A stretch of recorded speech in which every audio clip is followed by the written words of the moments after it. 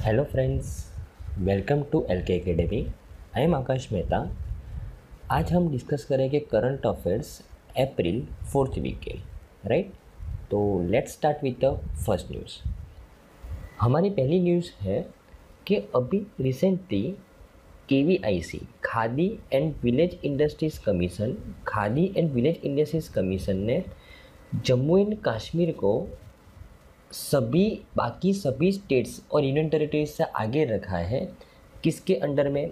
Self employment under the Pradhan Mantri employment generation programme हमने Pradhan Mantri employment generation programme इस scheme के बारे में लास्ट लेक्चर के अंदर ही पढ़ा था कि ये स्कीम क्या है। राइट कि जो भी कोई हम ऊपर ऊपर से देखें कि जो भी कोई पर्सन को अगर कोई बिज़नेस एस्टेब्लिश करना है मैन्युफैक्चर सेक्टर के अंदर या तो सर्विस सेक्टर के अंदर में और अगर उसको लोन चाहिए उसके लिए तो वो डायरेक्टली बैंक के पास जाने की बजाय अगर इस स्कीम के अंडर में उसको एनरोल करता है तो सबसे पहले उसको क्या करना पड़ेगा कि डेवलपमेंट इंडस्ट्रीज़ कमीशन DIC के पास जाना पड़ेगा। एक संस्था है कि जो ट्रेनिंग प्रोवाइड करती है, जो भी पर्सन को, जो भी बिज़नेस खोलता, खोलना चाहता है राइट उसके अंदर में ये ट्रेनिंग प्रोवाइड करवाता है। फिर ये ट्रेनिंग सर्टिफिकेट देता है और ये ट्रेनिंग सर्टिफिकेट लेके आपको बैंक के पास चलना है। तो बैंक आपको लोन प्रोवाइड करेगी राइट और जो बैंक फॉर एग्जांपल आप ट्वेंटी लाख की लोन की डिमांड करते हो बैंक आपको ट्वेंटी लाख की लोन दे देती है। लेकिन अगर आप जनरल कैटेगरी से बिलोंग करते हो राइट तो आपको फिफ्टीन परसेंट जो ट्वेंटी लाख की जो प्रिंसिपल अमाउंट है, उसके ऊपर फिफ्टीन परसेंट आपको डिस्काउंट मिल जाएगा। और अगर आप अदर कैटेगरी के अंदर बिलोंग करते हो राइट तो आपको कितना परसेंट डिस्काउंट मिलेगा? ट्वेंटी फाइव परसेंट राइट तो आपको twenty lakh as a loan तो मिल जाएगा, लेकिन आपको लोन का रीपेमेंट कितना करना है कि ट्वेंटी लैख का eighty five percent fifteen percent तो माइनस हो गया तो एट्टी फाइव परसेंट कितना होगा? सत्रह लाख। आपका लोन का रीपेमेंट इतना ही करना है राइट तो ये स्कीम थी कि अगर आपको कोई बिज़नेस एस्टाब्लिश करना है तो आप जितने भी अमाउंट के लोन लेना चाहते हो, उसमें कुछ डिस्काउंट हो जाएगा। आपके कास्ट के अकॉर्डिंग अगर आप इस स्कीम के अंडर में एनरोल करते हो राइट तो अभी रिसेंट और ये पूरी स्कीम ये प्रधानमंत्री एम्प्लॉयमेंट जनरेशन प्रोग्राम ये पूरी स्कीम पूरे देश के अंदर कौन इम्प्लीमेंट करवाता है? Khadi and village industry commission, ये संस्था इम्प्लीमेंट करवाती है राइट तो इस संस्था के अकॉर्डिंग कि इंडिया के अंदर प्रधानमंत्री एम्प्लॉयमेंट जनरेशन प्रोग्राम इस स्कीम के अंडर में कौन से स्टेट ने और कौन सी यूनियन टेरिटरीज ने सबसे ज़्यादा manufacturing units and service units को एस्टेब्लिश किया है? तो आंसर है जम्मू एंड कश्मीर। जम्मू एंड कश्मीर ने इस स्कीम का सबसे ज़्यादा बेनिफिट उठाया है according to the K V I C right Jammu and Kashmir ने जो बड़े बड़े स्टेट्स हैं, उत्तर प्रदेश, मध्य प्रदेश, तमिलनाडु एंड गुजरात, उसको भी पीछे छोड़ दिया है। Right total Jammu and Kashmir के अंदर लास्ट ईयर इक्कीस हज़ार छः सौ चालीस मैन्युफैक्चरिंग एंड सर्विस यूनिट्स को एस्टेब्लिश किया गया है। और ओवरऑल कितने manufacturing and service units establish की गई स्कीम के अंडर में? लास्ट ईयर हमने लास्ट न्यूज़ के अंदर ही पढ़ा था लास्ट डे कि 1.03 lakh manufacturing and service sector की यूनिट्स अभी तक लास्ट ईयर इस स्कीम के अंडर में एस्टेब्लिश किए गए थे। उसमें से इक्कीस हज़ार छः सौ चालीस यूनिट्स तो अकेले जम्मू एंड कश्मीर के अंदर ही एस्टेब्लिश किए गए हैं, जो बाकी जो बड़े बड़े स्टेट्स हैं, उनको भी उसने पीछे छोड़ दिया है। तो राइट तो एग्ज़ाम पॉइंट ऑफ़ व्यू से कि according to the K V I C Pradhan Mantri implementation programme को इम्प्लीमेंट करने के अंदर सबसे आगे कौन सा स्टेट और यूनियन टेरिटरी है? जम्मू एंड कश्मीर। उसने कितने मैन्युफैक्चरिंग एंड सर्विस यूनिट्स को एस्टेब्लिश किया लास्ट फाइनेंशियल ईयर के अंदर? इक्कीस हज़ार छः सौ चालीस। ओके जो हमने ओके हमने जो प्रीवियस लेक्चर के अंदर प्रधानमंत्री एम्प्लॉयमेंट जनरेशन प्रोग्राम के अंदर जो डेटा देखा था, कि उसके द्वारा, उस स्कीम के द्वारा टोटल पूरे फाइनेंशियल ईयर 2021-22 के अंदर टोटल 8.25 लैख 8.25 लैख नए लोगों को जॉब मिली थी जो भी एक लाख से ज़्यादा मैन्युफैक्चरिंग और सर्विस यूनिट को अप्रूवमेंट दिया गया था के के द्वारा। उसमें से 8.25 लाख लोगों को नई जॉब मिली थी राइट तो उसमें से 1.73 लाख न्यू एम्प्लॉयमेंट जस्ट अकेले जम्मू एंड कश्मीर के अंदर ही हुआ है 2021-22 के अंदर राइट तो ये भी सबसे हाईएस्ट लोगों को जॉब मिला है इस स्कीम के अंडर में। कि 8.25 लाख जॉब जो पूरी स्कीम के अंडर में लास्ट ईयर मिली थी, उसमें से 1.73 लाख नई implement just Jammu and Kashmir में ही हुई है राइट तो ये भी एक बहुत बड़ी अचीवमेंट है राइट और जम्मू एंड कश्मीर को टारगेट दिया गया था थ्री थ्री सिक्स ज़ीरो नए यूनिट्स को एस्टेब्लिश करने का, और उन्होंने कितना टारगेट अचीव किया है? Twenty one thousand six forty units उन्होंने ये एस्टेब्लिश किए हैं, नए मैन्युफैक्चरिंग यूनिट्स और सर्व यूनिट्स दोनों को मिला के बात करें तो राइट और जम्मू एंड कश्मीर ने टोटल 2101 करोड़ रुपया कैपिटल उसके अंदर मतलब 2101 करोड़ रुपए का लोन दिया है। मैंने ये स्कीम के अंदर में, या मैंने आपको समझाया था कि ये स्कीम लोन के अंदर कंसेशन प्रोवाइड करवाती है। टोटल प्रधानमंत्री इम्प्लीमेंटेशन प्रोग्राम के अंदर कितना लोन दिया गया है? जम्मू एंड कश्मीर के अंदर इक्कीस सौ एक करोड़ का लोन लिया गया है। और उसमें से के ने कितनी सब्सिडी प्रोवाइड की है? जो 15 परसेंट और 25 परसेंट जो डिस्काउंट दिया जाता है लोन के ऊपर, जो बाकी के 15 परसेंट कौन पे करता है? के राइट तो ये के के द्वारा टोटल कितने पैसे प्रोवाइड किए गए हैं? फोर सिक्सटी सेवन करोड़ इक्कीस सौ एक करोड़ में से के के द्वारा four sixty seven crore provide किए गए हैं अलग अलग कंपनीज़ों एस्टाब्लिश करने के लिए राइट और के की बात करूँ तो के का फुल फॉर्म है Khadi and village industries commission जो स्टेचुटरी बॉडी है जो पार्लियामेंट एक्ट नंबर 61 ऑफ़ 1956 के अंडर में उसको एस्टेब्लिश किया गया था राइट और उसको फिर अमेंड किया गया 1987 के अंदर और उसके बाद फिर से अमेंड किया गया 2006 के अंदर राइट तो के वी आई सी कौन से एक्ट के अंदर एस्टेब्लिश हुई है तो पार्लियामेंट एक्ट 1956 के अंदर में फिर उसको अमेंड किया गया 1987 के अंदर और 2006 के अंदर राइट और इन अप्रैल 1957 की के वी एस ने टुक ओवर किया, जो जो पहले क्या था ये संस्था का नाम, कि all India Khadi and village industries board उसको फिर टुक ओवर किया 1957 के अंदर। और के का ऑब्जेक्टिव्स क्या है? ये संस्था को एस्टेब्लिश करने का ऑब्जेक्टिव क्या है? कि to boost the employment in the country कि ये जैसे प्रधानमंत्री इम्प्लीमेंटेशन प्रोग्राम को कैसे सपोर्ट कर रही है तो उसकी मदद से आप देख रहे हो कि 8.25 लाख नई जॉब एस्टाब्लिश हुई है, जो मैंने लास्ट लेक्चर के अंदर आपको समझ समझाया था पूरी स्कीम के अंडर में।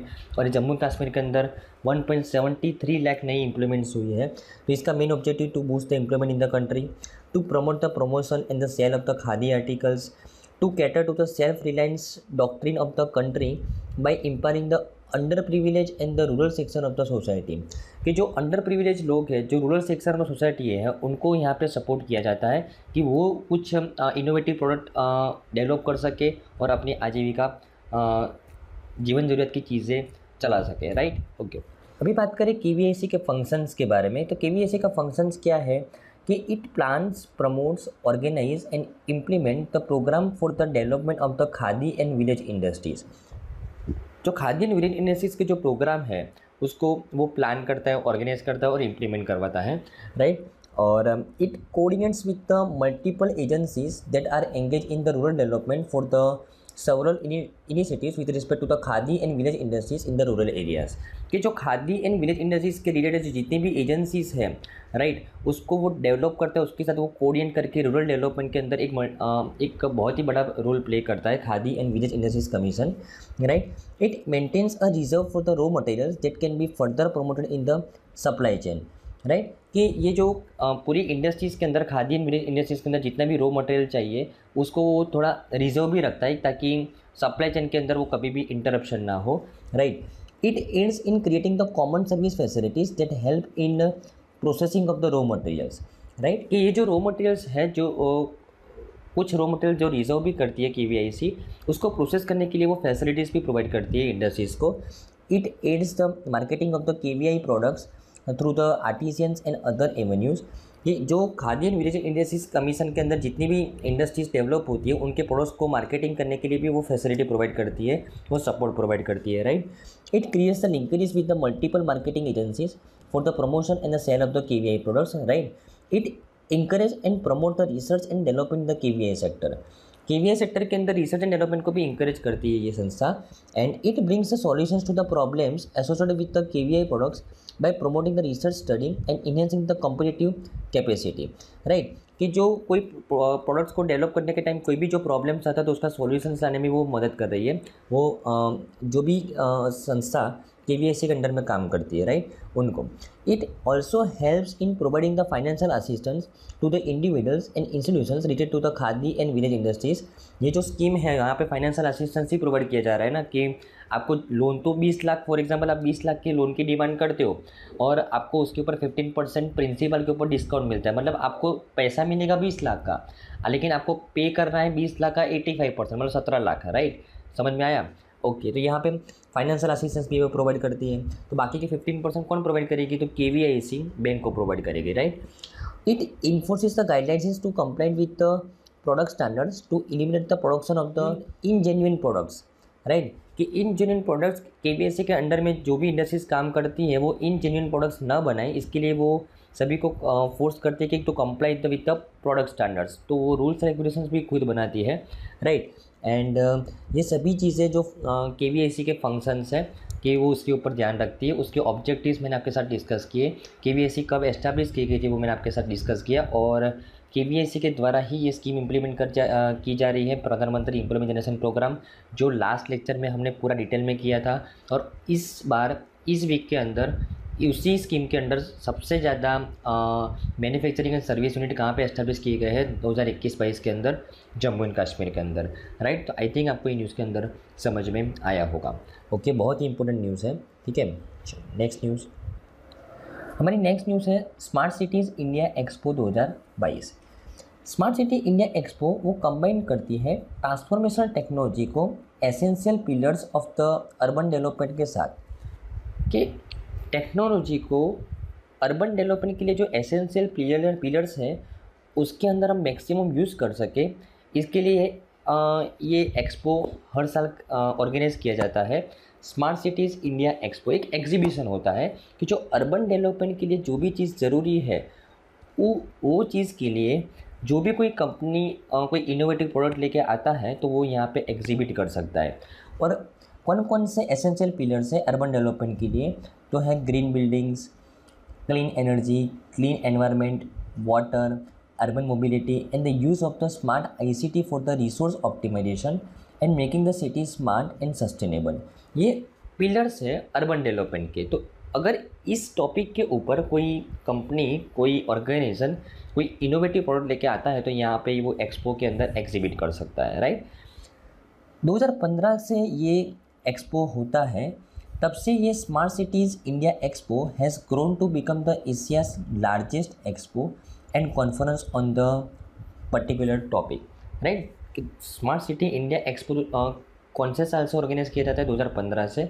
तब से वो एशिया का लार्जेस्ट एक्सपो बना हुआ है right okay it is India's largest technology and infrastructure event to accelerate the nation building nation building के अंदर जो इंडिया का सबसे बड़ा लार्जेस्ट टेक्नोलॉजी इंफ्रास्ट्रक्चर इवेंट है तो कौन है?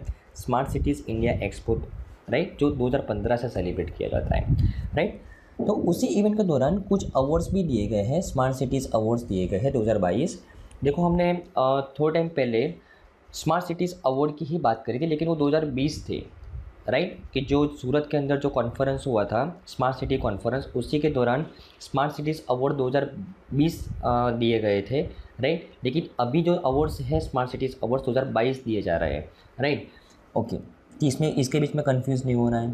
तो smart cities India 2022 awards are a one of the kind platform that honours recognises and the encourage individuals policy makers business municipalities government organisations and the associations for their efforts in both the urban and rural sector कि जो urban and rural sector के development के लिए जितने भी लोगों ने आ, काम किया है राइट उनको ऑनर करने के लिए, उनको रिकोगनाइज करने के लिए, उनको इंकरेज करने के लिए स्मार्ट सिटी अवार्ड दिया जाता है राइट और ये एक्सपो जो होता है, वो तीन दिन का एक्सपो होता है राइट अभी अवार्ड्स के बारे में बात करूँ तो अवार्ड्स बहुत सारे कैटेगरीज़ के अंदर दिए गए हैं। आपको सभी कैटेगरीज़ के अवार्ड्स को याद रखना है राइट यस मुझे पता है कॉस्ट टू बेनिफिट रेशियो बहुत कम है, लेकिन एक एक मार्क भी बहुत इंपॉर्टेंट है। इसलिए एक दो बार पढ़ोगे तो आपको थोड़ा सा आइडिया आ सकता है एग्ज़ाम में ऑप्शन दे के राइट ओके। ओके तो बेस्ट वाटर मैनेजमेंट कैटेगरी के अंदर आ, कौन बना है? सोलिनास इंटीग्रिटी प्राइवेट लिमिटेड और उसका जो प्रोजेक्ट है pipeline management project for the twenty four by seven water supply इस प्रोजेक्ट के लिए उसको बेस्ट वाटर मैनेजमेंट अवार्ड दिया गया। सिटी इनोवेशन के अंदर उज्जैन स्मार्ट सिटी लिमिटेड को ये अवार्ड दिया गया है। उसका एक प्रोजेक्ट है डिजिटल सेंटर उसके लिए। Right COVID nineteen recovery innovation award के लिए जबलपुर स्मार्ट सिटी लिमिटेड को अवार्ड दिया गया है। क्योंकि उसका एक प्रोजेक्ट है leveraging the I triple C against the nineteen pandemic right उसके प्रोजेक्ट के लिए उसको ये अवार्ड दिया गया है। डिजिटल सिटी के लिए New Town Kolkata green smart city corporation को अवार्ड दिया गया है। उसका प्रोजेक्ट का नाम digital services in the New Town Kolkata right governance and economy के लिए पिंपरी चिकवा चिचवाड़ जो स्मार्ट सिटी लिमिटेड है, उसको ये अवार्ड दिया गया है राइट उसका जो प्रोजेक्ट का नाम है स्मार्ट सारथी राइट तो एग्ज़ाम पॉइंट ऑफ़ व्यू से ये कैसे इंपॉर्टेंट है? कि बेस्ट वाटर मैनेजमेंट का जो स्मार्ट सिटीज़ अवार्ड किसको दिया गया? ये संस्था को। उसका प्रोजेक्ट का नाम क्या है? तो ये डेप्थ क्वेश्चन आ सकता है। तो ऐसा बहुत सारी कैटेगरीज हैं कि smart waste disposal and clean city, smart city of the year, किसको दिया गया smart city of the year? Ujjain smart city limited को ये अवार्ड दिया गया है। भाई, best city leader of the year, right? तो ये है अथार आमिर खान आई जो सीईओ e है श्रीनगर स्मार्ट सिटी लिमिटेड के, बराबर मतलब best city leader of the year कौन है? सिटी के जो लीडर है मतलब ये सीईओ है श्रीनगर स्मार्ट सिटी लिमिटेड के, अथार आमिर खान उनको ये अवार्ड दिया गया है। राइट फिर सेफ़ सिटी के बारे में बात करें तो Dehradun smart city limited smart urban mobility की बात करें तो Silvassa smart city limited smart energy project की बात करें तो जबलपुर स्मार्ट सिटी लिमिटेड को स्मार्ट पार्किंग इनिशिएटिव्स के बारे में बात करें तो इंदौर स्मार्ट सिटी को ये अवार्ड दिया गया है और पब्लिक प्राइवेट पार्टनरशिप की बात करें तो इंदौर स्मार्ट सिटी को अगेन ये अवार्ड दिया गया है राइट तो इसके प्रोजेक्ट्स भी एक बार पढ़ लेना और ये सभी कैटेगरीज एक दो बार पढ़ो कि थोड़ा बहुत आइडिया आ जाएगा ओके स्मार्ट सिटीज़ की बात करूँ कि स्मार्ट सिटी मिशन की बात करूँ तो टोटल हंड्रेड सिटीज़ को हमको डेवलप करना है, कब तक? 2023 तक, राइट? और पीरियड्स की रेंज है दो से 2023 तक हमको हंड्रेड सिटीज़ को डेवलप करना है, स्मार्ट सिटी बनाना है, राइट? एंड, एज ऑफ़ 2019 तक, the effective cumulative completion rate of the all project जो हमको स्मार्ट सिटी मिशन से अचीव करना है तो अभी तक कितने प्रोजेक्ट्स कंप्लीट हुए हैं? जस्ट इलेवन परसेंट दो हज़ार उन्नीस से अब तक की बात करें तो। एंड हाँ हमको ये प्रोजेक्ट कब तक करना है? दो हज़ार तेईस तक का हमारा टारगेट है। राइट कि एज ऑफ़ मार्च दो हज़ार बाईस three five double seven projects had been completed out of the total of six nine three three nine tendered projects total six nine three nine को प्रोजेक्ट को टेंडर किया गया, उसमें से three five double seven projects को ही यहाँ पे कंप्लीट हुए हैं। और utilising the sixty thousand crore out of the total rated cost of the one lakh ninety one thousand two ninety four crore right मतलब स्मार्ट सिटी मिशन को पूरा 2019 से 2030 तेईस तक कितना पैसा अलोकेट किया गया है? एक lakh ninety one thousand crore रुपया अलोकेट किया गया है, उसमें से अभी सिक्सटी थाउज़ेंड करोड़ का यूटिलाइज किया गया है। तो आपको ये बजटरी अलोकेशन कि स्मार्ट सिटी मिशन वो कितने, को कितना बजट दिया गया है चार साल के लिए? One lakh ninety one thousand two ninety four crore ये डेप्थ क्वेश्चन हो सकता है। तो आई थिंक आपको ये न्यूज़ के अंदर समझ में आया होगा। राइट ओके हमारी नेक्स्ट न्यूज़ है कि अभी रिसेंटली मेघालय जो प्लानिंग डिपार्टमेंट है मेघालय का, उसका जो एक ई प्रपोजल सिस्टम मेघ ई ए मेघ ई ए मेगा को अभी एक अवार्ड दिया गया UN award as a champion project right? Simple question, एक वन लेनर क्वेश्चन कि मेघालय के जो प्लानिंग डिपार्टमेंट है, उसका एक ई प्रपोजल सिस्टम है, Megha.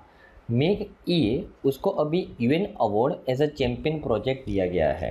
United Nations award as a champion project दिया गया है। अभी हम ये प्रोजेक्ट और ये अवार्ड के बारे में डिटेल डिस्कशन करें तो मेघालय एंटरप्राइज आर्किटेक्चर मेघ ई का फुल फॉर्म क्या है? मेघालय एंटरप्राइज आर्किटेक्चर इम्प्लीमेंटेशन एक एक ई प्रपोजल सिस्टम है। एक key initiative of the planning department of the government of the Meghalaya has been selected for the UN world summit on the information society prizes उसका जो एक champion project है, उसके लिए वो सिलेक्ट किया गया है। Right exam point of view से कि अभी recently UN world summit on information society prizes UN world summit on information society prizes 2022 के लिए इन द चैम्पियन प्रोजेक्ट के लिए किसको सिलेक्ट किया गया? आ, तो मेघालय का जो ई प्रपोजल सिस्टम है आ, उसका नाम है मेघ एंटरप्राइज आर्किटेक्चर उसको सिलेक्ट किया गया है। राइट? सबसे पहले तो हम ये प्राइस की बात करें कि world summit on the information society prizes ये उसका एलेवंथ एडिशन है। राइट? इलेवंथ एडिशन है और मेक ये को सिलेक्ट किया गया है under the category of the role of the governments and all the stakeholders in the promotion of the information and communication technology for the development, along with the projects from the Australia Argentina United Republic of the Tanzania and the China देखो, ये जो make enterprise architecture जो एक ई proposal system है ना, उसको एक category है कि चैंपियन प्रोजेक्ट के अंदर उसको सिलेक्ट किया गया है, लेकिन उसके अंदर कौन सी category the role of the government and all the stakeholders in the promotion of the information communication technology for the development तो उस कैटेगरी के अंदर इसको सिलेक्ट किया गया है और उसके अलावा जैसे इंडिया का मेगा प्रोजेक्ट है उसके अलावा Australia Argentina Tanzania and China से भी कुछ आ, बहुत सारे प्रोजेक्ट को यहाँ पे सिलेक्ट किया गया है इस चैम्पियन प्रोजेक्ट के अंडर में। राइट ओके फिर MeghEA has been selected among the top 360 projects across the globe top 360 projects में से ये प्रोजेक्ट को सिलेक्ट किया गया है। और टोटल 18 विनिंग प्रोजेक्ट्स है along with the 72 champion projects है। Will be recognise with the world summit on the information society prizes ceremony which will be held at the कहाँ पे होने वाला है? जो डब्ल्यू एस आई फॉरम दो हज़ार बाईस ऑर्गेनाइज होने वाला है ना इकतीस मई दो हज़ार बाईस तक। राइट? तब ये अवार्ड को दिया जाएगा। जस्ट अभी सिलेक्शन हुआ है अवार्ड दिया नहीं गया है, लेकिन अवार्ड कब दिया जाएगा?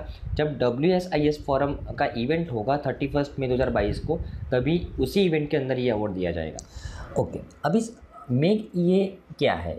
ये एक ई प्रपोजल सिस्टम है, लेकिन वो क्या है? कैसे वर्क करता है? मैं आपसे वो, उसके बारे में बात करूँ कि मेग ये एक फ्लैगशिप प्रोग्राम है, मेघालय का, और वो 2019 के अंदर एस्टेब्लिश किया गया था। उसका एम है to enable the digital service delivery from the government to the citizens businesses and employees by adopting the whole of government approach कि मैक्सिमम जो गवर्नमेंट सर्विसेज़ है सिटीजन्स को बिजनेसिस को, वो डिजिटली प्रोवाइड की जाए तो उसका मेन अप्रोच वही है। तो इसी इसी पर्पज़ से मेक ये एक प्रोजेक्ट बनाया गया था।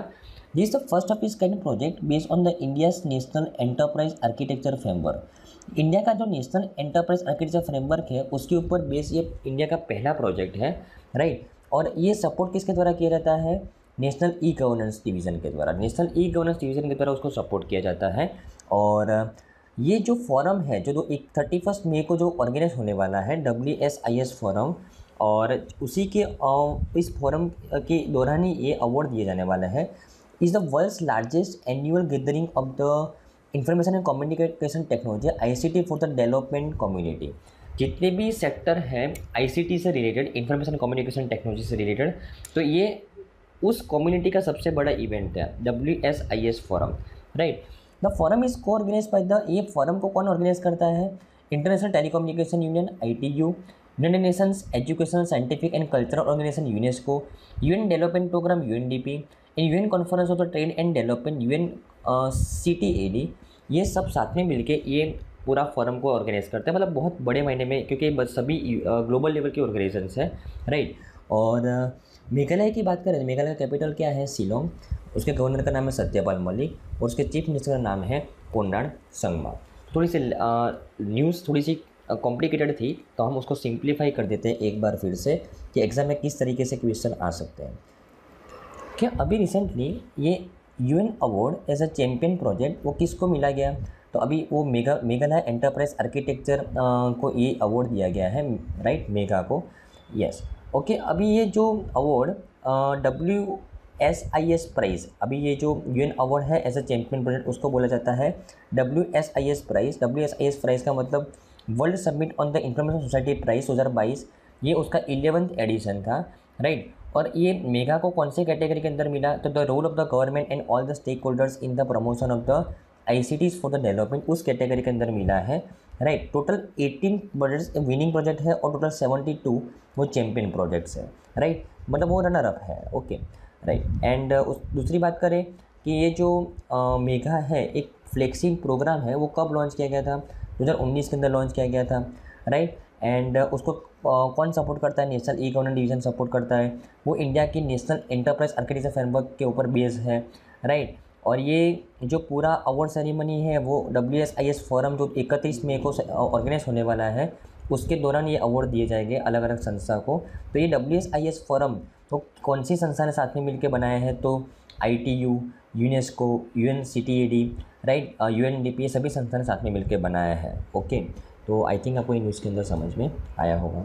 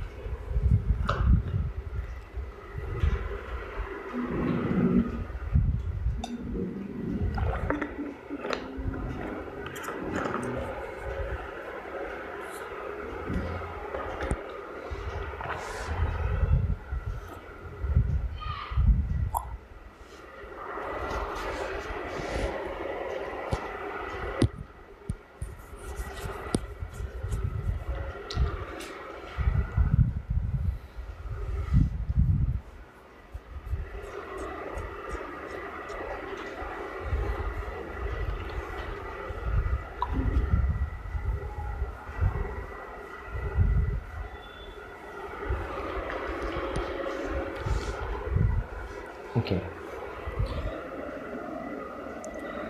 यस हमारी नेक्स्ट न्यूज़ है कि अभी रिसेंटली यूके के जो प्राइम मिनिस्टर हैं बोरिस जॉनसन उन्होंने इंडिया को विज़िट किया था। तो इंडिया की विज़िट के दौरान उन्होंने क्या क्या एम साइन किए हैं और उसके बारे में हम आ, हमको पढ़ना है राइट तो अभी रिसेंटली जो यूके के प्राइम मिनिस्टर है बोरिस जॉनसन वो ऑफिशियल विज़िट के ऊपर आए थे इंडिया के।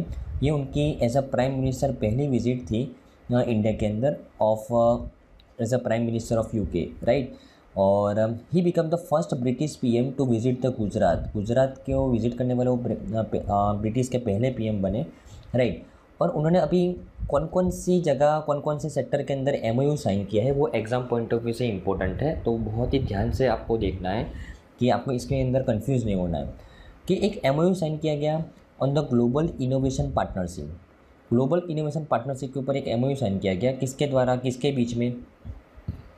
Ministry of External Affairs and the Foreign Commonwealth and Development Office of UK Ministry of External Affairs और उसकी जो इक्विवेलेंट संस्था होती है यूके के अंदर Foreign Commonwealth and Development Office of UK इन दोनों के बीच में एक एमओयू साइन हुआ for the global innovation partnership के लिए। राइट अंडर दिस कि both the sides agreed to cofinance up to seventy five million pound as a global innovation partnership fund कि एक फ़ंड बनाया जाएगा इंडिया और यूके के द्वारा जीआईपी फंड, कि उसके अंदर दोनों साइड कितना डोनेट करेगी? 75 million pound right Ministry of Action Affairs and Foreign Commonwealth and Development Office of the UK किसके लिए ये फंड बनाया जाएगा? To support the transfer and scale up of the climate smart sustainable innovations to the third countries India और UK के अंदर तो दोनों सपोर्ट कर ही रहे हैं, जो इनोवेशंस है जो स्मार्ट सॉल्यूशंस है, लेकिन जो लीस्ट डेवलप कंट्रीज़ है कि जहाँ पे इनोवेशंस आइडियाज़ बहुत सारे हैं, लेकिन उसको इम्प्लीमेंट नहीं किया जा सकता due to the financial problem तो उस कंट्रीज़ के लोगों को ये जीआईपी फंड में से पैसा दिया जाएगा। और जो जिनके पास भी ये आ, कुछ आइडियाज़ हो गए to transfer the technology to scale up the climate smart sustainable innovations right तो उनको फाइनेंशियल सपोर्ट इस फंड में से किया जाएगा। तो एक जीआईपी फंड एस्टेब्लिश करने के लिए इंडिया और यूके के बीच में एमओयू साइन हुआ है और स्पेशली इंडिया की तरफ़ से मिनिस्ट्री ऑफ़ एक्सटर्नल अफेयर्स और यूके की तरफ़ से Foreign Commonwealth and Development Office ये दोनों संस्था ने यहाँ पे एम साइन किया है राइट ओके ये जीआईपी फंड की बात करूँ is also aimed to raise the additional 100 million pound from the market to support the Indian innovations. कि इंडियन इनोवेशन को सपोर्ट करने के लिए GIP fund 100 million dollar extra raise करने वाली है मार्केट्स के अंदर राइट ओके फिर दूसरा एक एमओयू साइन किया गया। Global Centre for the Nuclear Energy Partnership के लिए। न्यूक्लियर एनर्जी पार्टनरशिप के लिए और वो किसके किसके बीच में ये एमओयू साइन किया गया?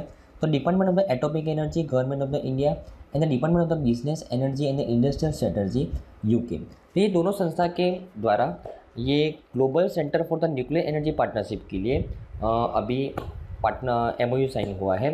तो इंडिया की संस्था है Department of the Atomic Energy and UK की संस्था है। इन Development of the Business Energy and the Industrial Strategy के दोनों के द्वारा यहाँ पे पार्टनरशिप किया गया है। फॉर द न्यूक्लियर एनर्जी के लिए पार्टनरशिप किया गया है right okay under this MoU कि both the sides will be jointly promote the research and training on the nuclear energy studies radioactive applications nuclear security and safety के ऊपर right तो ये दो एम तो याद रखने हैं ओके आगे बात करते हैं। उसके अलावा एक और एमओयू साइन किया गया है। On establishment of the short term chair एक अध्यक्ष की चेयर यहाँ पे एस्टेब्लिश की जाएगी। कहाँ पे?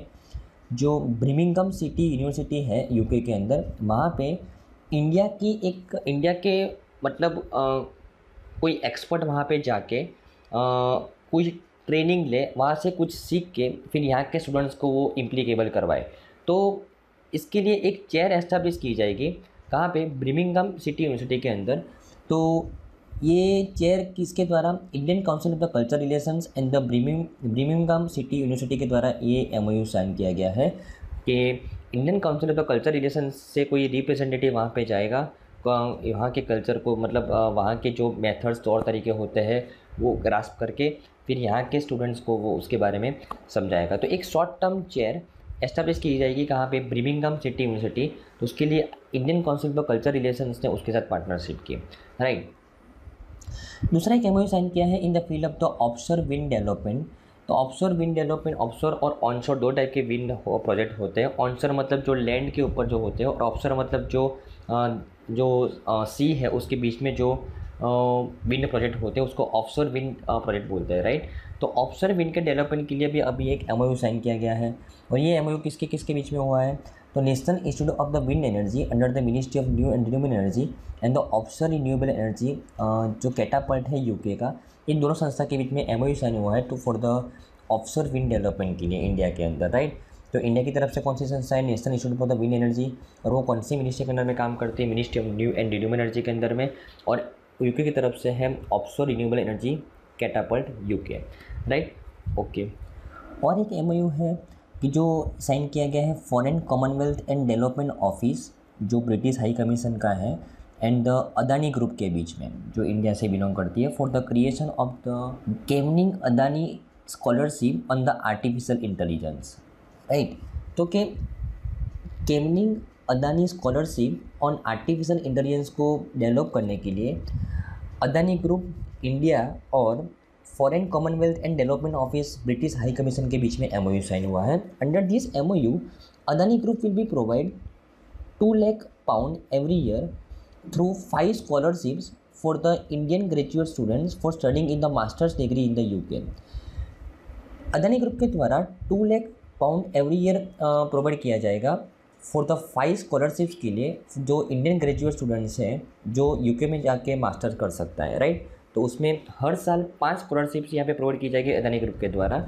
उसके लिए अदानी ग्रुप और Foreign Commonwealth and Development Office के साथ पार्टनरशिप हुई है राइट उसके अलावा इंडिया और यूके ने साइन किया एक new defence cooperation agreement for the closer security ties and the easier procurement of the weapons right और इंडियन यूके ने रीअफर्म किया है देयर कमिटमेंट को to cyber security partnership for the vision 2030 an open accessible secure and the peaceful cyberspace in the Indo pacific तो Indo Pacific region के अंदर cyber security बनी रहे, उसको मेंटेन करने के लिए, उसको इन्हेंस करने के लिए जो इंडिया और यूके का जो विज़न है 2030 का उसके बीच में उन्होंने ये पार्टनरशिप को रीअफर्म किया है। अपने कमिटमेंट कमिटमेंट को रीअफर्म किया है।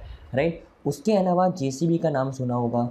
जे इंडिया जो एक अपना नया प्लांट एस्टेब्लिश कर रही है कहाँ पे? वडोदरा, गुजरात के अंदर।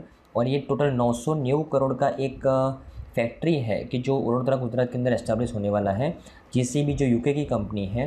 राइट तो उसका जो उद्घाटन जो किया किया गया है तो किसके द्वारा गुजरात के सीएम भूपेंद्र पटेल के द्वारा और British prime minister Boris Johnson, जो जब उन्होंने गुजरात को विज़िट किया, तब उसका उद्घाटन किया, वडोदरा, गुजरात के अंदर, राइट? और, ये जेसीबी की सिक्स फैक्ट्री है इंडिया के अंदर and with the Gujarat factory the total investment by the J in India is estimated more than one billion pound तो टोटल इन्वेस्टमेंट जेसीबी ने कितना कर दिया है इंडिया के अंदर? वन बिलियन पाउंड से भी ज़्यादा। तो इतने एम जब बोरिस जॉनसन जो इंडिया के अंदर विज़िट करने के लिए आए थे, तब उन्होंने इंडिया के साथ एम, इतने एमओयू साइन किए हैं। आपके एग्ज़ाम पॉइंट ऑफ़ व्यू बहुत इंपॉर्टेंट है कि अभी रिसेंटली जो बोरिस जॉनसन आए तो इन्होंने इस सेक्टर के अंदर for example global innovation partnership के लिए जीआईएफ फंड के लिए किसके साथ पार्टनरशिप की न्यूक्लियर एनर्जी किसने, किसके साथ पार्टनरशिप की राइट अदानी ग्रुप ने किसके साथ पार्टनरशिप की तो ये सब चीज़ें आ सकती है। ओके तो आई थिंक आपको ये न्यूज़ के अंदर समझ में आया होगा। ओके हमारी नेक्स्ट न्यूज़ है कि अभी recently national Panchayati Raj day celebrate किया गया और वो कब सेलिब्रेट किया जाता है? ट्वेंटी फोर्थ अप्रैल 2022 को हर साल सेलिब्रेट किया जाता है राइट तो नेशनल पंचायती राज डे की हम बात करें तो वो हर साल ट्वेंटी फोर्थ अप्रैल को सेलिब्रेट किया जाता है और किसके द्वारा? मिनिस्ट्री ऑफ़ पंचायती राज के द्वारा राइट और हमारे मिनिस्टर ऑफ़ पंचायती राज कौन है? वो आपका होमवर्क है कि हमारे मिनिस्टर ऑफ़ पंचायती राज कौन है। ठीक है? तो ये डे क्यों सेलिब्रेट किया जाता है? To celebrate the constitutional status accorded to the Panchayati Raj system of India कि जो पंचायती राज सिस्टम को जो कॉन्स्टिट्यूशन स्टेटस दिया गया, उसी के कमेमोरेशन के अंदर हर साल ट्वेंटी फोर्थ अप्रैल को national Panchayati Raj day celebrate किया जाता है मिनिस्ट्री ऑफ़ पंचायती राज के द्वारा। Right national Panchayati Raj day क्यों सेलिब्रेट किया जाता है? क्योंकि इसी दिन ट्वेंटी फोर्थ अप्रैल को पंचायती राज सिस्टम को कॉन्स्टिट्यूशन के अंदर ऐड किया गया था। 1992 के अंदर जो सेवेंटी थर्ड अमेंडमेंट करके कॉन्स्टिट्यूशन के अंदर इस पंचायती राज सिस्टम को इंक्लूड किया गया था राइट और seventy third amendment came into the force कब? वो फोर्स में आया। ट्वेंटी फोर्थ अप्रैल 1993 से पंचायती राज सिस्टम वो कॉन्स्टिट्यूशन के अंदर आ गई।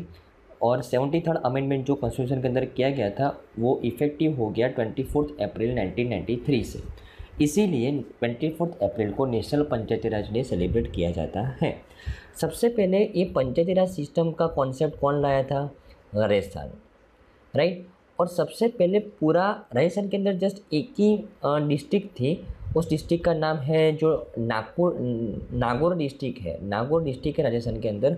उसी के अंदर 1953 के अंदर पंचायती राज सिस्टम का कॉन्सेप्ट आया था सबसे पहले। लेकिन 1959 के अंदर पूरे आंध्र प्रदेश स्टेट ने पंचायती राज सिस्टम को इम्प्लीमेंट किया था 1959 के अंदर। और 1993 के बाद जब ये कॉन्स्टिट्यूशन के अंदर ऐड किया गया, फिर उसके बाद पूरे कंट्री के अंदर ये सिस्टम को इम्प्लीमेंट किया गया। राइट तो आई थिंक आपको इस जो पंचायती राज डे है, उसकी थोड़ी बहुत हिस्ट्री के बारे में पता चला होगा। और उसी दिन के दौरान जो अभी 2022 का जो नेशनल पंचायती राज डे था ट्वेंटी फोर्थ अप्रैल 2022 के ऊपर पीएम मोदी जम्मू एंड कश्मीर को विज़िट करने के लिए गए थे और उन्होंने वहाँ पे नेशनल पंचायती राज डे को सेलिब्रेट भी किया। और उसी दिन उसी दिन पीएम मोदी ने पाली जो पंचायत है उसको विज़िट किया और Palli panchayat become the India's first panchayat to become the carbon neutral fully solar energy powered and it is its records have been digitized which will be help in the receiving all the benefits of the central scheme easily. तो पाली पंचायत जो India की पहली पंचायत बनी कि जहाँ पे का, वो कार्बन न्यूट्रल बन गई है। कार्बन न्यूट्रल मतलब जितना कार्बन एमिशन वहाँ पे होता है उतनी ही इक्विवेलेंट रिन्यूएबल एनर्जी वहाँ पे प्रोड्यूस की जा रही है। फुल्ली सोलर एनर्जी पावर बन गई पाल जो पाली जो पंचायत है वो। एंड uh, जो उसके जो पूरे रिकॉर्ड्स हैं पंचायत लेवल के वो सभी डिजिटाइज हो गए हैं राइट तो ऐसे पाली पंचायत को पीएम मोदी ने विज़िट भी किया। पीएम मोदी ने वहाँ पे उद्घाटन किया 500 किलोवाट का सोलर प्लांट कि जो कार्बन न्यूट्रल पंचायत के ऊपर उन्होंने इनोग्रेशन किया। और उस ये 500 किलोवाट का जो सोलर प्लांट है वो setup at the Palli in the record three weeks time ये जो 500 किलोवाट का जो सोलर प्लांट है पाली के अंदर जो अभी उद्घाटन किया गया वो जस्ट तीन वीक के टाइम के टाइम के अंदर ही उसको बनाया गया है।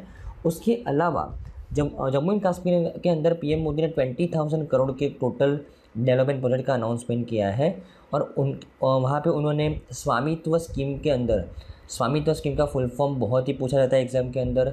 Survey of the villages and mapping with the improvise technology in the villages area scheme के स्वामित्व स्कीम के अंदर है ना, सभी फार्मर्स को प्रॉपर्टी कार्ड्स दिए जाते हैं कि उनके प्रॉपर्टी के उनके पास कितनी लैंड होल्डिंग है, उनका एक बार डेटा लेके सैटेलाइट के माध्यम से डेटा लेके, फिर उनका प्रॉपर्टी कार्ड उनको प्रॉपर्टी कार्ड दिया जाता है ताकि उनको फ्यूचर में कोई लोन लेना हो। और फ्यूचर में उनकी कोई फार्मर्स की कोई जो लैंड है, उनका जिसके ऊपर हक है, वो कोई दूसरा एडोप्ट ना कर ले, इसके लिए उनको प्रॉपर्टी कार्ड दिया जाता है स्वामित्व स्कीम के अंदर। तो ये स्वामित्व स्कीम के अंदर बहुत सारे फार्मर्स को यहाँ पे प्रॉपर्टी कार्ड भी डिस्ट्रीब्यूट किया पीएम मोदी ने जम्मू एंड कश्मीर के विज़िट के दौरान।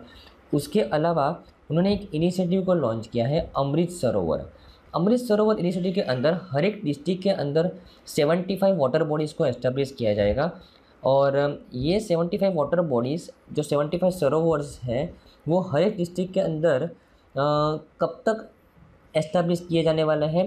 फिफ्टीन अगस्त 2023 तक राइट तो इसके लिए उन्होंने एक इनिशिएटिव लॉन्च किया है, अमृत सरोवर। अमृत सरोवर, जहाँ पे 75 वाटर बॉडी 75 सरोवर एस्टेब्लिश किए जाएँगे हर एक डिस्ट्रिक्ट के अंदर as a part of the Azadi ka Amrit महोत्सव राइट तो आई थिंक आपको ये न्यूज़ के अंदर समझ में आया होगा। नेशनल पंचायती राज डे और पीएम मोदी ने जो जम्मू एंड कश्मीर के अंदर विज़िट किया और उन्होंने वहाँ पे कहा क्या क्या इनोग्रेशन किया, कौन सी स्कीम को लॉन्च किया, वो सभी चीज़ें आपको याद रखनी है ओके चलो हमारी नेक्स्ट न्यूज़ है कि अभी recently IndiGo becomes the first airline to use the indigenous navigation system GAGAN GAGAN जो एक नेविगेशन सिस्टम है, जो इंडिया ने खुद से बनाई है, उसको यूज़ करने वाली पहली एयरलाइन कौन बनी? इंडिगो राइट अभी इंडिको ने ये जो गगन सिस्टम है नेविगेशन सिस्टम उसका यूज़ लैंडिंग एक्टिविटी वो किशनगढ़ एयरपोर्ट के ऊपर इंडिको का एक aircraft A T R seventy two aircraft जब लैंड हो रहा था, तब उसने ये नेविगेशन सिस्टम का यूज़ किया गगन का। गगन का फुल फॉर्म क्या है? G P S aided geo augmented navigation right और उसको किसने बनाया है? Airport Authority of India and the Indian Space Research Organisation Airport Authority of India और इसरो ने साथ साथ में मिलके ये नेविगेशन सिस्टम गगन बनाया है। और इसका यूज़ करके अभी लैंडिंग एक्टिविटी कंप्लीट की इंडिगो ने, जो पहली एयरलाइन बनी गगन को यूज़ करने वाली। Right GAGAN is use to provide the lateral and vertical guidance when an aircraft is approaching a runway for landing कि जब एयरक्राफ्ट लैंडिंग के लिए अप्रोच करता है, तब लेटरल एंड वर्टिकल गाइडेंस कौन प्रोवाइड करता है? GAGAN right right? तो लैंडिंग के लिए बहुत इंपॉर्टेंट है ये नेविगेशन सिस्टम कि जो वर्टिकल और कि कितना डिस्टेंस अब जब कोई प्लेन अभी देखो अगर आपको प्लेन के नीचे कितना एरिया बाकी है, आप लैंड कर रहे हो प्लेन को प्लेन के नीचे कितना एरिया बाकी आपको अगर आपको उसका अंदाज़ा नहीं रहता तो हम जो स्पीड जो मेंटेन करनी पड़ती है, जब हम रनवे के ऊपर लैंड होने वाले वाले होते हैं तो वो स्पीड को मेंटेन नहीं कर पाते पायलट्स वगैरह राइट तो इसके लिए ये प्रॉपर लैंडिंग के लिए प्रॉपर लैंडिंग हो, उसके लिए नेविगेशन सिस्टम लॉन्च की गई है गगन, इसरो और एयरपोर्ट अथॉरिटी ऑफ़ इंडिया के द्वारा right it's precision is specially useful it the small airports where the instrument landing system has not been install के देखो जो बड़े बड़े एयरपोर्ट्स होते हैं वहाँ पे लैंडिंग के लिए एक गाइडेंस प्रोवाइड करने के लिए एक सिस्टम लॉन्च इंस्टॉल होती है। आ, उस सिस्टम का नाम क्या है? इंस्ट्रूमेंट लैंडिंग सिस्टम लेकिन जो स्मॉल एयरपोर्ट्स हैं वहाँ पे ये सिस्टम नहीं होती है तो तब ये सिस्टम काम में आएगी गगन आ, जो नेविगेशन सिस्टम है वो right GAGAN will modernise the air space reduce the flight delays save the fuel and improve the flight safety The Director General of the Civil Aviation has issued a mandate for the L all aircraft registered in the India after July uh, 1st 2021 to be fitted with the Gagan equipment.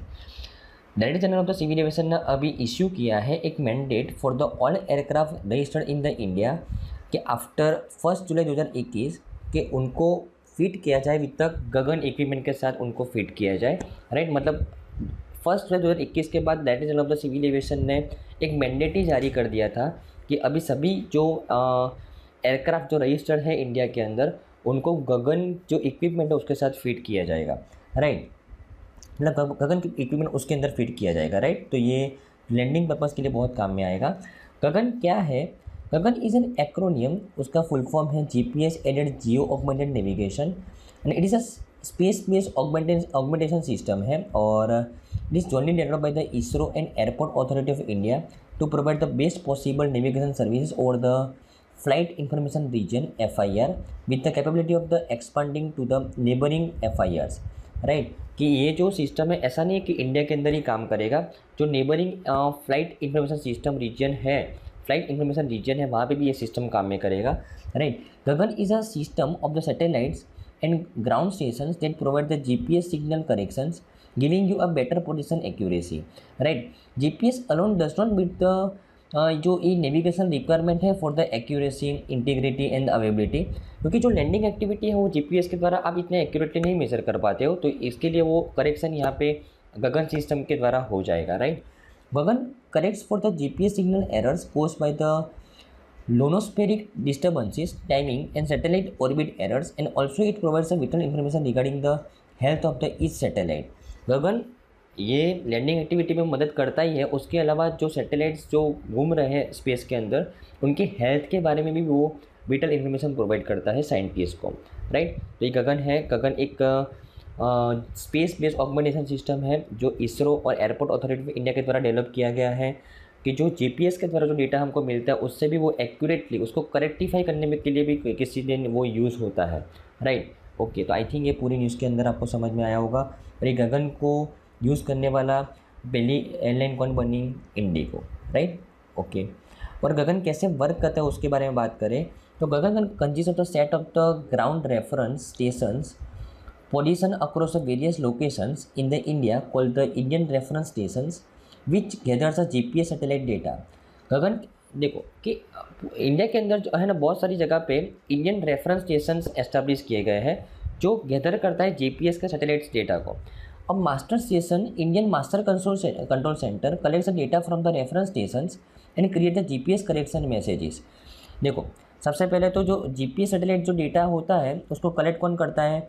तो Indian reference station और Indian reference station से data collect कौन करता है? तो Indian master control control centre right the correct और फिर वो जी पी डेटा के द्वारा जो जितना भी डेटा कलेक्ट किया गया है, उसको फिर करेक्ट करता है Indian master control centre right फिर they corrected differential messages are uplink by the Indian uplink station and the Indian broadcasted and then broadcasted on the signal from the three geostationary satellites GSAT eight GSAT ten and GSAT fifteen ये जो master control centre के ऊपर से जो data आया, जो corrected message आया, उसको फिर कहाँ पे अपलिंक किया जाता है?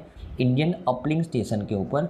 फिर उसको ब्रॉडकास्ट किया जाता है, जो तीन सैटेलाइट कम्युनिकेशन के लिए यूज़ होते हैं GSAT eight GSAT ten and GSAT fifteen उसके अंदर। The information on this signal is compatible with the basic G P S signal structure which means any space based organisation system enable G P S receiver can be read this signal right तो GAGAN system इस तरीके से work करता है। सबसे पहला data GPS का data जो कलेक्ट होता हुआ कहाँ पे जाएगा? इंडियन रेफरेंस स्टेशन के ऊपर।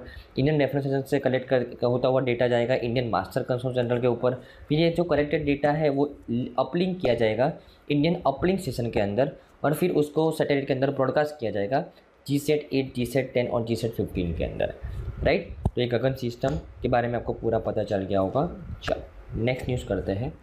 ओके हमारी नेक्स्ट न्यूज़ है कि अभी recently M S M E sustainable certification scheme को लॉन्च किया गया है। आ, हमारे जो ministry of M S M E है नारायण दत्तू राणे के द्वारा एक स्कीम लॉन्च की गई है। M S M E sustainable certification scheme this scheme will be facilitated and enable the M S M E to adopt the zero defect zero effect practice कि M को enable करेगा ये scheme to adopt zero defect zero effect practice को adopt करने के लिए। Under this scheme M S M S will be motivated and incentivise for the Z certification Z certification मतलब zero defect zero effect practice के लिए। तो अगर वो ज़ीरो डिफेक्ट ज़ीरो इफ़ेक्ट वाले प्रोडक्ट बनाएँगे तो उनको इंसेंटिवाइज किया जाएगा उस एम एस एम एस को right and while they will be encourage to become the M S M E champions और जो भी M S M Es zero product वाली चीज़ें बनाएगी उनको M S M E champions के तौर पे रिकग्नाइज किया जाएगा। Why the Z certification the M S M S will be able to reduce the wastages enhance the environmental uh, consciousness, increase the productivity, optimally use the natural resources, save energy, expand their markets, etc. तो ये Z certification के अंदर ये सभी चीज़ें count की जाएगी। कि किस तरीके से ज़ीरो डिफेक्ट ज़ीरो इफ़ेक्ट अभी ज़ीरो डिफेक्ट तो चलो बराबर, कि डिफेक्टिव चीज़ें आपको प्रोड्यूस नहीं करनी है, लेकिन ज़ीरो इफ़ेक्ट मतलब जो आप चीज़ प्रोड्यूस करते हो, उसका एनवायरनमेंट के ऊपर ख़तरनाक इफ़ेक्ट नहीं होना चाहिए। तो जेड सर्टिफिकेशन आपको तभी मिलेगा कि जब आप वेस्टेज को रिड्यूस करते हो इन्हेंस एनवायरमेंटल कॉन्शियसनेस को आप बढ़ावा देते हो प्रोडक्टिविटी को इंक्रीज़ करोगे नेचुरल रिसोर्सेज को ऑप्टिमली यूज़ करोगे एनर्जी को सेव करोगे, तभी आपको मिलेगा। अभी आप जेड सर्टिफिकेशन की बात करें कि Z is a certification for the M S M E that has been introduce to urge the M S M E industries to manufacture the goods in the India with the zero defects so that the goods that are exported are not refunded due to the bad quality तो अगर हम zero defect वाले goods को produce करेंगे, अगर हम उस goods को एक्सपोर्ट करेंगे तो फिर वो रिफंड नहीं आए रिटर्न नहीं आएगा due to the bad quality वो रिटर्न नहीं आना चाहिए right right? The certified good must be also ensure the zero effect zero defect तो है ही. ज़ीरो इफ़ेक्ट को भी इंश्योर करना है. Meaning the good student have a negative effect on the environment environment के ऊपर वो गुड जो आपने प्रोड्यूस किया, वो नेगेटिव इफ़ेक्ट मतलब वो ज़्यादा एमिशन करता हुआ नहीं होना चाहिए. Right right? तो अगर आपने ज़ीरो डिफेक्ट और ज़ीरो इफ़ेक्ट अचीव किया है, तभी आपको ज़ीरो सर्टिफिकेशन मिलेगा. Right the aim of the rating is to improve the process and move up the assessment model और असेसमेंट मॉडल के अंदर उनको चार पाँच कैटेगरी के अंदर डिवाइड किया जाएगा पूरी एम एस इंडस्ट्रीज़ को, कि bronze silver gold diamond and platinum rating product will be valid for the four years period आपको जो भी रेटिंग मिला होगा, वो चार साल के लिए वैलिड होगा। और quality council of the India will be carrying out all the surveillance जो ऑडिट करने वाली है, वो कौन करेगा? क्वालिटी काउंसिल ऑफ़ इंडिया ये पूरी स्कीम के अंडर में। और under the scheme M S M E will be receive the subsidies according to the following structure on the Z certification M S M E को किस हिसाब से subsidy मिलेगी? अगर उसको जेड सर्टिफिकेट मिला है तो।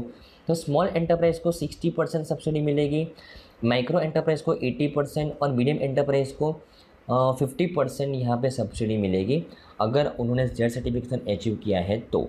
And additional ten percent subsidy will be provided to the M S M S that are own by the women और S C S T entrepreneurs और the M S M S that are located in the north eastern Himalayas और aspirational district and the island territories तो ये जो M S M S है, जो ये इस जगह पे लोकेटेड है और M S M S women S T और एस सी कैटेगरीज से इंटरप्रीनर से भी जो बिलोंग करती है, जो एम एस एम ई जो वुमेन एस टी और एस सी इंटरप्रीनर्स के द्वारा बनाई गई है तो उनको टेन परसेंट एडिशनल सब्सिडी मिलेगी। और उसके अलावा additional subsidy of the five percent for the M S M Es which are the part of the SFURTI और the micro and small enterprise cluster development programme तो अगर ये स्फूर्ति programme का एम एस एम ई कोई part है तो उसको फाइव परसेंट एडिशनल सब्सिडी मिलेगी। Rupees ten rupees ten thousand reward will be also be offer to the M S M E once they take the Z pledge अगर कोई M S M ई उनको Z certificate नहीं लेकिन Z के लिए pledge लेता है तो आ, उस ई को टेन थाउज़ेंड रुपीज़ का जो ज्वाइनिंग रिवॉर्ड मिलता है वो मिलेगा राइट और up to rupees five lakh per M S M E will be provided for the purpose of the consultancy and the hand holding support under the Z certification so as to assist them to move towards a solutions of the zero defect, zero effect. यहाँ पे additional पाँच लाख का support दिया, किया जाएगा for the purpose of the consultancy and health holding support under the Z certification Z certification मतलब zero defect और zero effect करने के लिए एम एस एम इसको पाँच लाख तक का फाइनेंशियल सपोर्ट प्रोवाइड किया जाएगा to assist them to move towards the solutions of the zero defect और ज़ीरो इफ़ेक्ट राइट? तो पाँच लाख तक का यहाँ पे फाइनेंशियल सपोर्ट प्रोवाइड किया जाएगा, राइट? और स्मॉल एंटरप्राइज को sixty percent subsidy micro enterprise को एटी परसेंट मीडियम एंटरप्राइज को फिफ्टी परसेंट अगर उनके पास जेड सर्टिफिकेट है तो। और ये सर्टिफिकेट जो ये रेटिंग है, पाँच category bronze silver gold diamond and platinum और ये जो रेटिंग है, चार साल तक वैलिड रहेगा, राइट? और ये सर्टिफिकेशन स्कीम किसने लॉन्च की है? Ministry of M S M E ने, राइट? ओके तो आई थिंक ये न्यूज़ आपको समझ में आई होगी। नेक्स्ट न्यूज़ करते हैं। हमारी नेक्स्ट न्यूज़ है कि अभी रिसेंटली आरबीआई ने मैंडेट किया है borrowers with the exposure of rupees five crore and above to obtain the L E I सबसे पहले हम समझते हैं कि एल ई आई क्या है और आर बी आई का ये न्यूज़ क्या है राइट तो अभी रिसेंटली आर बी आई ने मैंडेट किया है non individual borrowers with the aggregate exposure of five crore and above from the banks and the financial institution should be obtain the legal entity identifier R B I ने बोला कि जो भी non individual borrowers हैं कि जिन्होंने अभी तक एक्सपोजर ले रखा है एक्सपोजर मतलब लोन ले रखा है कितना? पाँच करोड़ से ज़्यादा ले रखा है या फिर आ, आगे लेने वाले हैं उनको अभी ऑप्टेन करना पड़ेगा लीगल एंटिटी आइडेंटिफायर अभी ये लीगल एंटिटी आइडेंटिफायर एक बीस तीर का एक यूनिक कोड है। जैसे आई कोड कैसा होता है, उसी तरह ये बीस तीर का एक यूनिक कोड है। To identify the parties to the financial transaction worldwide कि जिस तरीके से आई कोड इंडियन लेवल के ऊपर जो कोई ट्रांजेक्शन होता है तो उसको ट्रैक करने के लिए यूज़ होता है। उसी तरह ये जो लोग, लीगल एंटिटी आइडेंटिफायर है, जो ग्लोबल लेवल के ऊपर जो भी ट्रांजेक्शन होता है, उसको ट्रैक करने के लिए यूज़फुल है। तो इसके लिए जब ये लॉन्च हुआ था, तब ऐसा प्रावधान था कि जिसका एक्सपोज़र जिन्होंने लोन लेके रखा है 500 करोड़ से ज़्यादा, उनको ही ऑप्टेन करने पड़ेगा लीगल एंटिटी आइडेंटिफायर लेकिन धीरे धीरे फिर उसको, ये अमाउंट को कम करके, अभी तक 50 करोड़ था, जिसका 50 करोड़ से ज़्यादा एक्सपोजर है, उनको एलईआई को ऑप्टेन करना पड़ेगा। लेकिन अभी रिसेंट न्यूज़ में आरबीआई ने बताया कि अभी अगर आपका लोन एक्सपोजर पाँच करोड़ से ज़्यादा है तो आपको लीगल एंटिटी आइडेंटिफायर को ऑप्टेन करना पड़ेगा राइट लीगल एंटिटी आइडेंटिफायर कुछ भी नहीं, एक बीस चीज़ का कोड है जो ग्लोबली फाइनेंशियल ट्रांजेक्शन्स को ट्रैक करने के लिए यूज़ किया जाता है। और लीगल एंटिटी आइडेंटिफायर प्रोवाइड कौन करवाता है? तो लोकल ऑपरेटिंग यूनिट हर एक कंट्री के अंदर लोकल ऑपरेटिंग यूनिट्स होती है और ये लोकल ऑपरेटिंग यूनिट्स किसके अंडर में काम करती है? Global legal entity identifier foundation, GLEIF के अंडर में काम करती है राइट हर एक कंट्री के अंदर एक लोकल ऑपरेटिंग यूनिट होती है।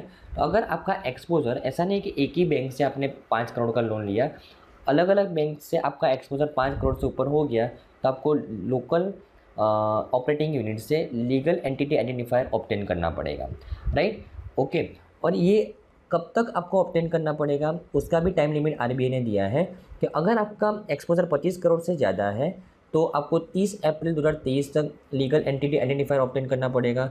अगर आपका एक्सपोजर 10 करोड़ से 25 करोड़ तक का है तो आपको 30 अप्रैल 2024 तक आपको ये लीगल एंटिटी आइडेंटिफायर लेना पड़ेगा। और अगर आपका एक्सपोजर पाँच करोड़ और दस करोड़ के बीच में है तो आपको 30 अप्रैल 2025 तक ये लीगल एंटिटी आइडेंटिफायर ऑप्टेन करना पड़ेगा। राइट? ओके। तो आरबीआई ने जो ये डायरेक्शंस दी है, वो कौन से एक्ट के अंडर में दी है? तो under the section 2135 A and section 56 of the banking regulation act 1949 section 45 J A and 45 L of the R B act nineteen thirty four and section thirty 1934 and section 30A of the National Housing Bank Act 1987 and section 6 of the Factoring Regulation Act 2011 इतने act के according RBI ने ये mandate जारी किया है। Right? और ये twenty degrees का यूनिट कोड है, उसमें ट्वेंटी डिग्रीज क्या इंडिकेट करते हैं? तो कैरेक्टर वन टू फोर जो रिप्रेजेंट करता है कि कस्टमर कौन से एलओयू से कस्टमर ने ये लीगल एंटिटी आइडेंटिफायर ऑप्टेन किया है। फॉर एग्जांपल आई कोड के अंदर कैसा एस बी आई एन लिखा है तो आपको पता चल जाता है कि ये आपके अकाउंट एस बी आई के अंदर है। उसी तरह ये कैरेक्टर जो वन टू फोर जो कैरेक्टर हो गए वो कोई एक कंट्री के एल को रिप्रेजेंट करते होंगे तो पता चल जाएगा कि ये कस्टमर कौन से कंट्री से बिलोंग करता है right character five to six वो two reserve character set as a zero अभी आपने आई कोड के अंदर भी बहुत सारे ज़ीरो देखे होंगे। ये ज़ीरो क्यों होते हैं बेसिकली कि फॉर एग्ज़ाम्पल यहाँ पे नाइन्टी नाइन फॉर एग्ज़ाम्पल हमारा आईएफएससी कोड चार, पाँच, छः, सात, आठ, नौ डिजिट का है, और नाइन्टी नाइन कस्टमर ने आई कोड अचीव कर लिया है राइट ओके और यहाँ पे अगर मैंने ज़ीरो नहीं रखा होता डायरेक्टली ऐसा लिखा होता कि S B I N nineteen ninety nine N ninety nine right तो अभी मुझे बताओ कि अभी हंड्रेडवा जो कस्टमर आएगा तो उसके लिए अगर मैं मुझे उसको इंडिकेट करना है तो मुझे फिर आई कोड की लेंथ को चेंज करना पड़ेगा राइट फिर हंड्रेड मतलब थ्री डी की अगर लाइन कंप्लीट हो गई ट्रिपल नाइन के बाद वन थाउज़ेंड का जो कस्टमर आएगा अगेन आई कोड का लेंथ चेंज करना पड़ेगा। तो इसके लिए शुरुआत से ही जब ये कोड को एस्टेब्लिश किया जाता है, तब से ही कुछ पोजीशन रिज़र्व की जाती है। तो जैसे ही अभी नाइन्टी नाइन कस्टमर्स के बाद हंड्रेडवा कस्टमर आएगा ना तो एक यहाँ पे ऐड हो जाएगा। और ये हंड्रेडवा कस्टमर ऐसे हो जाएगा। राइट समझ में आया?